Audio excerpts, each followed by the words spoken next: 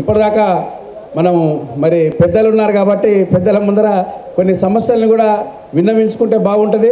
మన ఆవేదనను కూడా గౌరవప్రదంగా వారికి తెలియజేస్తే బాగుంటుంది అన్న దాంతోనే మన సీనియర్ నాయకులు చాలా చక్కటి అంశాల్ని తెలియపరిచారు. ఈ అంశాలు అందరికీ మననంలో ఉన్నవే. కానీ మనం సుదూర ప్రాంతం నుంచి నల్గొండ జిల్లా నుంచి కూడా చాలామంది ఈ సభకి హాజరు కావడం జరిగింది. ఎందుకంటే మా గుత్తా సుఖేందర్ రెడ్డి గారు మా అందరికీ పూజ్యులు పెద్దలు మా అందరికీ ఒక గురు సమానులు మా అందరికీ ఒక భీష్మ పితావుడు లాంటి వ్యక్తి మా నల్గొండ జిల్లాకి సుఖేందర్ రెడ్డి గారు. మరి వారు వస్తున్నారంటే కూడా పెద్ద ఎత్తున నల్గొండ జిల్లా నుంచి కూడా మేమంతా రావడం జరిగింది. అయితే మా జిల్లా కాబట్టి సుఖేందర్ రెడ్డి గారి గురించి ఒక్క విషయాన్ని చెప్పాలి. ఆ విషయం ఏంటంటే నల్గొండ జిల్లాలో ఉన్న టిఎన్ జోస్ భవన్ని చూస్తే ఏ ఏ బ- ఏ బిల్డింగ్ మీద చూసినా కానీ అంటే మనది పెద్ద బిల్డింగ్ ఏ బిల్డింగ్ మీద చూసినా కానీ ఈ నిర్మాణము గుత్తా సుఖేందర్ రెడ్డి గారి నిధులతో నిర్మించబడ్డది అని రాసి ఉంటుంది. అదేవిధంగా వారు రాజకీయాలలో కానీ ఉన్నతమైన స్వభావాన్ని కలిగి ఎంతో ఎత్తు ఎదిగిన వ్యక్తి.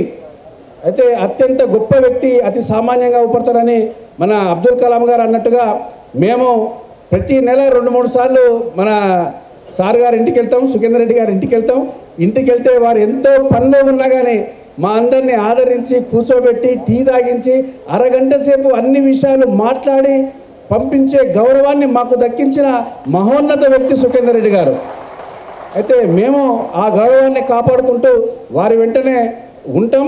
అదేవిధంగా భవిష్యత్తులో కూడా ఇదే సంబంధ బాధ్య బాంధవ్యాల్ని గౌరవంగా మేము ముందుకు తీసుకెళ్తామని తెలియజేస్తున్నాం. అదేవిధంగా మనమంతా అనుకున్నది ఇప్పుడు పిఆర్సీ అయితే ఈ పిఆర్సీ గురించి పెద్దలు ఉన్నారు. మీకు ఒక చిన్న విషయాన్ని నేను తెలియజేయాలి సార్. అదేంటంటే పిఆర్సీ అనగానే అన్ని రాష్ట్రాల్లో కల్లా తెలంగాణ ఉద్యోగస్తులకే జీతాలు ఎక్కువ. మళ్ళీ దాని మీద మళ్ళీ పిఆర్సీ ఇవ్వడం అనగానే ఇంకా జీతం ఎక్కువ. అయితే దీనికి ఒక లైవ్ ఉదాహరణ తీసుకుంటే జీతం ఎక్కువనా తక్కువనా ఇప్పుడున్న దానికి సరిపోతా లేదా అనేది ఈ సభాముఖంగా నేను తెలియజేయదలుచుకున్నా. ఆ లైవ్ ఉదాహరణ ఏంటంటే నేనే. ఎందుకంటే ఉదాహరణ ఎవరినో తీసుకొని చెప్తే బాగుండదు. నాకు నేను ఒక జిల్లా అధ్యక్షుడిగా ఒక సామాన్య ఉద్యోగిగా చెప్పుకుంటేనే బాగుంటుంది. సార్ నాది ముప్పై రెండు సంవత్సరాల సర్వీస్ సార్ నాది. ఎనిమిది వందల పదిహేను రూపాయలతో స్టార్ట్ చేశాను. నా ఉద్యోగము ముప్పై రెండు సంవత్సరాలు. ఇప్పుడు నాకు అరవై ఎనిమిది వేల జీతం వస్తుంది. ముప్పై ఎనిమిది ముప్పై రెండు ముప్పై ఒక్క సంవత్సరాలు సర్వీస్ కంప్లీట్ చేసిన తర్వాత నాకు అరవై ఎనిమిది వేల జీతం వస్తుంది. ఎనిమిది వందల పదిహేను రూపాయలతో నేను స్టార్ట్ చేశాను. అదేవిధంగా మా వచ్చే సంవత్సరం ఇంకా నాలుగు సంవత్సరాల సర్వీస్ ఉంది నాది. వచ్చే సంవత్సరం అమ్మాయి పెళ్ళి చేయాలి. ఇంకా కొడుకు సెటిల్ కావాలి. మరి నిజాయితీగా పనిచేస్తున్న ఉద్యోగికి నాలుగు సంవత్సరాలే ఉన్న ఈ యాభై నాలుగేళ్ళ ఉద్యోగికి అరవై ఎనిమిది వేలు సరిపోతాయా ఇప్పుడున్న స్టేజ్లో? కాబట్టి బ్రహ్మాండమైన పిఆర్సీని మనం కొట్లాడి తెచ్చుకున్న తెలంగాణలో ఇవ్వవలసిన అవసరం ఉంది. ఎందుకంటే కొన్ని సాక్షిభూతమైన ఉదాహరణలు తీసుకుంటే మనకు అర్థమవుతుంది తెలంగాణలో జీతాలు ఎక్కువ. అనగానే మనం ఏం మాట్లాడతలేము అందరూ ఏమనుకుంటున్నారు? ప్రజలంతా ఏమనుకుంటున్నారు? వీళ్ళకి ఎన్నెన్ని జీతాలు వస్తున్నాయో అనుకుంటున్నారు. కానీ మరి ఎక్కువ జీతం వచ్చినా అది ఇప్పుడున్న పరిస్థితులలో సరిపోతుందా? మరి పిఆర్సీ ఎంత ఘనంగా మనకి ఇస్తే నాలాంటి సామాన్య ఉద్యోగాలు మీలాంటి సామాన్య ఉద్యోగస్తులకు సరిపోతుంది. అయితే దీంట్లో ఒక చిన్న క్లారిఫికేషన్ కూడా ఇవ్వవలసిన అవసరం ఉంది. అదేంటంటే ఒక పది శాతం ఉద్యోగస్తులకు తల్లిదండ్రుల నుంచి వచ్చిన ఆస్తిపాస్తులో ఏవో ఉండవచ్చును. కానీ తొంభై శాతం ఉద్యోగస్తులు నాలాగా మనలాగానే ఉంటారు. జీతం మీద ఆధారపడిన వాళ్ళే ఉంటారు. అట్లాంటి ఉద్యోగస్తుల గురించి అదేవిధంగా ముప్పై ఒక్క సంవత్సరాలు సర్వీస్ పూర్తి చేసిన తర్వాత కూడా ముప్పై ఒక్క సంవత్సరాలు సర్వీస్ పూర్తి చేసిన తర్వాత కూడా డెబ్బై వేలు పూర్తిగా రాని ఒక ఉద్యోగి గురించి నాలుగేళ్ళ సర్వీస్ ఉండి కూడా ఇంకా బాధ్యతలు తీర్చుకోవాల్సిన అవసరం ఉన్న ఒక నిజాయితీ కలిగిన ఉద్యోగస్తుల గురించి దయచేసి ఆలోచించవలసిందిగా ఈ సభాముఖంగా నేను గుర్తు చేస్తున్నాను. అదేవిధంగా కొత్త జిల్లాలు ఏర్పడిన తర్వాత అందరినట్టే అధికారులు ఎక్కువయ్యారు. మరి ల్యాప్టాప్లో కళ్యాణ లక్ష్మి కానీ మన రైతు బంధు కానీ రైతు బీమా కానీ ఫీడ్ చేసేది ఎవరు? అధికారులు ఫీడ్ చేయరు కదా. ఫీల్డ్లో ఉన్న పనిచేసే వాళ్ళు ఫీడ్ చేస్తారు. మరి అట్లాంటప్పుడు వాళ్ళకి సౌకర్యాలు కల్పించడం సామాన్య ఉద్యోగస్తుల స్ట్రెంత్ పెంచడం అనేది చాలా అవసరము. అది స్ట్రెంత్ పెంచకుండా అధికారాన్ని పెంచుకుంటూ పోతూ ఉంటే ఈ కొద్ది మంది ఉన్న ఉద్యోగస్తుల మీద ప్రెషర్ ఎక్కువ అవుతుంది. చాలా ప్రెషర్ ఎక్కువ అవుతుంది. కాబట్టి దయచేసి నేను మాన్యులైన మీ పెద్దలకు నేను హృదయపూర్వకంగా మనవి చేసేది ఏంటంటే ప్రతి జిల్లాలో అధికారులను ఎట్లా పెంచారో అదేవిధంగా ప్రజలకు చాలా పథకాలు మన తెలంగాణ గొప్ప రాష్ట్రం బ్రహ్మాండమైన పథకాల్ని మనము మన రాష్ట్ర ప్రజలకు ఇవ్వడం జరుగుతుంది. ఆ ఆ పథకాలని కింద స్థాయికి తీసుకెళ్ళేది మనం. మన స్ట్రెంత్ని కూడా పెంచవలసిన అవసరం ఉంది మన సౌకర్యాలను కూడా పెంచవలసిన అవసరం ఉంది. కాబట్టి ఇదొక సమస్య అయితే ఒక సమస్యని మనం మర్చిపోయాం. ఒక సమస్యని మర్చిపోయాం. అత్యంత పిఆర్సీ కన్నా ప్రధానమైన సమస్య సిపిఎస్ ముప్పై సంవత్సరాలు ముప్పై సంవత్సరాలు ప్రభుత్వంలో ప్రజలకు ప్రభుత్వానికి ముప్పై సంవత్సరాలు సేవ చేసిన తర్వాత కూడా రిక్త హస్తాలతోని అటు పెన్షన్ కానీ గ్రాట్యుటీ కానీ ఏది లేకుండా ప్రజలని నమ్ముకొని ప్రభుత్వాన్ని నమ్ముకొని పొద్దున పదిన్నర నుంచి సాయంత్రం ఐదు గంటల వరకు పనిచేసిన ఉద్యోగి ముప్పై సంవత్సరాల తర్వాత వృద్ధాప్యంలో ఎటువంటి పెన్షన్ లేకుండా గ్రాట్యుటీ లేకుండా ఇంటికి వెళ్ళే పరిస్థితి. ఈ సిపిఎస్ ఇప్పుడు రేపు మనకిచ్చే దాంట్లో సిపిఎస్ని కూడా ప్రముఖంగా ఆలోచించాలని నేను విజ్ఞప్తి చేస్తున్నాను. చివరిగా మాన్యులు పెద్దలు మీకు హృదయపూర్వకంగా నమస్కారాలు తెలియజేస్తూ ఒక్క విజ్ఞప్తి చేస్తున్నాను. అదేంటంటే మనం ఒక నిజాన్ని మాట్లాడుకుందాం. ఆర్టీసీ కార్మికులు బ్రహ్మాండమైన ఉద్యమం చేశారు. కానీ ఆ- ఆ- ఆ ఉద్యమానికి ఫలితం ఉంటుందా రాదా అని మనమంతా సామాన్యులుగా ఆలోచించే పరిస్థితులలో ఉద్యమం ఆర్టీసీ కార్మికుల ఉద్యమం బాగా చేశారు బ్రహ్మాండంగా చేశారు. హక్కుల కోసం పోరాడవలసిందే. పోరాటం లేదే ఏది రాదు. బ్రహ్మాండంగా పోరాటం చేశారు. పోరాటం చేసి ముగిసిన తర్వాత వీళ్ళకి ఫలితం ఏమొస్తుంది? అన్ అనే ఆలోచనలో తెలంగాణ ప్రజల ఉన్న ఉన్న తరుణంలో మన గౌరవ ముఖ్యమంత్రి గారు మనందరికీ ప్రియతమ వ్యక్తి మనము వారి అడుగులలో అడుగునేసి ఈ ఈ రాష్ట్రాన్ని సాధించుకున్న చాలా ధీరోదాత్తమైన మనందరికీ ఒక యుగ పురుషుడు మన కేసీఆర్ గారు. వారు ఈ పోరాటం ముగియగానే వారందరినీ ప్రగతి భవన్కి పిలిపించి ప్రగతి భవన్లో ఆర్టీసీ పోరాటానికి విజయం ఏ విధంగా ఉంటుందో ప్రకటించిన గొప్ప వ్యక్తి మన ముఖ్యమంత్రి గారు.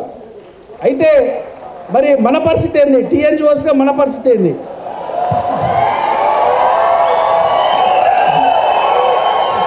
అది కూడా చెప్తాను మన పరిస్థితి ఏంది?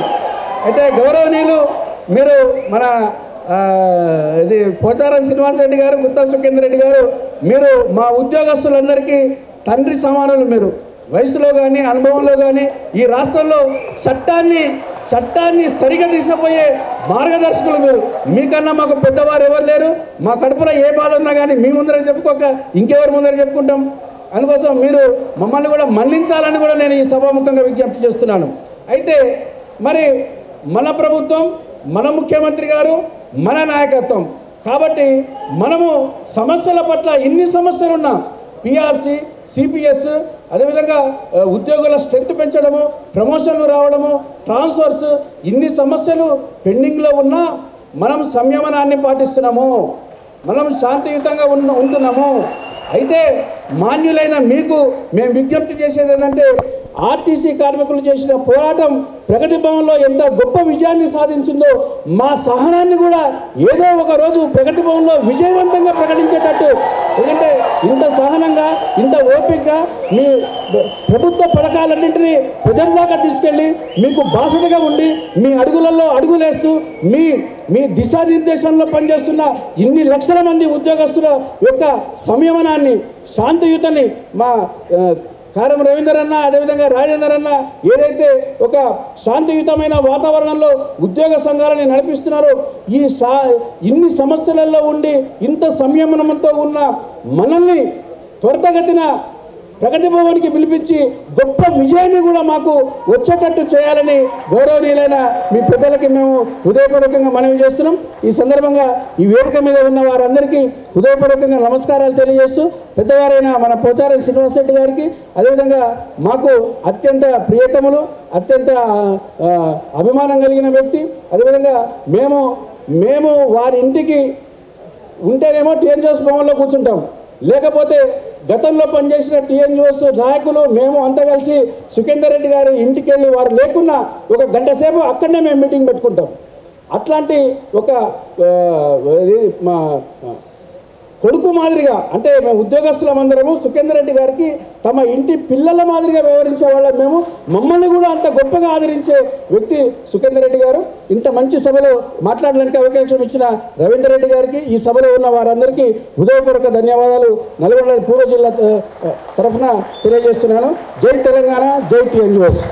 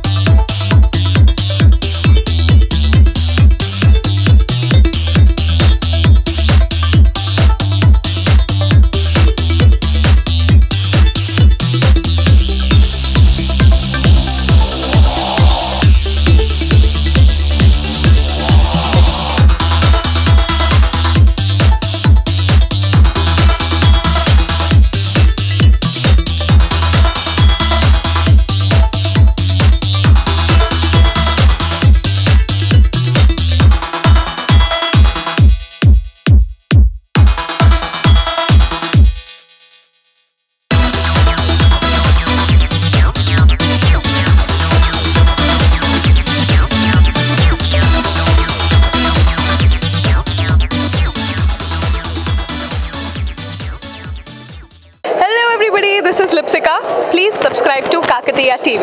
Please subscribe to Kakatiya TV. Please subscribe to. Please subscribe. Subscribe subscribe. Please subscribe. Hi నేను RJ Kajal subscribe to Kakatiya TV చాలా interesting updates and interesting content ఉంటుంది కాకతీయ టీవీలో సో డెఫినెట్గా సబ్స్క్రైబ్ చేసుకోండి అండ్ కింద కనిపిస్తున్న బెల్ ఐకాన్ని కూడా మీరు నొక్కితే మీకు ఇన్స్టెంట్గా అప్లోడ్ చేసిన వెంటనే నోటిఫికేషన్ కూడా వస్తుంది కాబట్టి డూ సబ్స్క్రైబ్